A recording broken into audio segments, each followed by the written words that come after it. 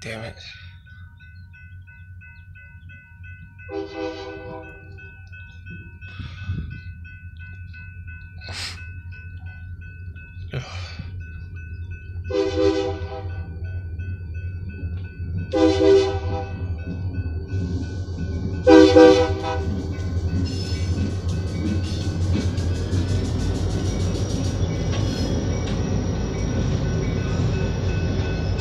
Ah, the port logo. I think this is uh 62R.